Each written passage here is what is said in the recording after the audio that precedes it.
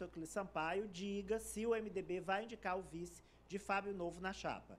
Como o governador Rafael Fonteles pediu à Assembleia Legislativa autorização para viajar depois de amanhã, quarta-feira, com o presidente Lula até a Dubai para a COP28, e a Assembleia vai autorizar, é claro, o governador viaja na quarta e só retorna no domingo, dia 3. Então a data de sexta-feira. Prorrogado pula para segunda. Mas o que eu apurei, junto com a fonte minha, é o Palácio de Karnak.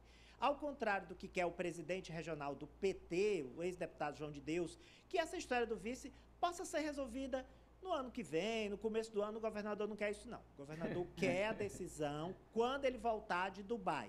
Então, ele volta no domingo e na segunda-feira ele tem uma conversa definitiva com o vice-governador Temístocles e, em seguida, se o Temístocles insistir no nome de Paulo Márcio, o Rafael escolherá o vice de Fábio Novo, hum, não sendo do MDB, a tendência é que seja do PSD de dado, do Júlio não, César, que deve anunciar apoio a Fábio Ari, eu acho que é uma, dias. Que vai, é uma, é, o nome é o da Simone, que ela é tanto do PSD como é do MDB.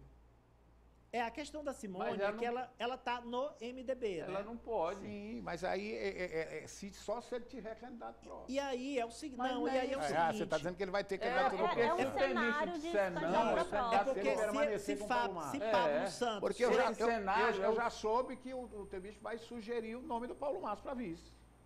Não. Porque é o seguinte, se o Pablo não, Santos Rafael, foi... é o que ele vai dizer, não, hoje não. Atenção. Vai dizer, porque... É porque se o Pablo Santos foi eleito prefeito de Picos, ah. Simone se torna deputada efetiva. efetiva. Então ela não tem interesse em serviço, ela tem interesse em ficar como deputado efetivamente. Aí Agora, para concluir a manchete, aí, mostrar aí o Fábio Novo ah. na Vila Carlos Falcão ontem, onde ele anunciou um projeto de regularização fundiária via Assembleia Legislativa, que criou a Superintendência de Regularização Fundiária, e a meta é 50 mil famílias que hoje moram em terras do Estado aqui na capital, receberem os documentos de como são donos dos imóveis, sendo dono dos imóveis. O primeiro lote já vai ser entregue no próximo mês, exatamente para duas mil famílias da Vila Carlos Falcão, que é essa que aparece no mapa, é uma área do Estado. É a região do Disseu. Isso, da região do é, Disseu. Um é uma área do Estado. Do estado que foi invadido. É. Invadida há 40 anos, é já tem 40 anos lá. E eles vão receber já em dezembro os registros de imóveis, mas a meta é 50 mil ao todo. Agora, o Ciro levantou uma questão, o seguinte, Vamos lá, se o Temístocles disser, ok, eu aceito e o meu nome é o Paulo Márcio, o governador aceita? Não. Não. Eu acho que aceita.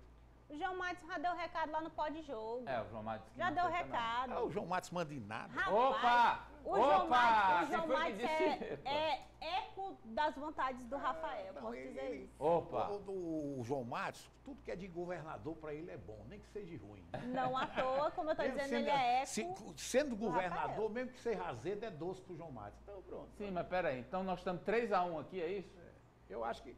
Eu, eu é, acho, não aceita. Eu acho, eu soube hoje dessa história, mas acho que ele ainda está empolgado. O Paulo Márcio está crescendo numa classe, numa classe formadora de opinião. Eu acho que o Temich vai querer ganhar tempo.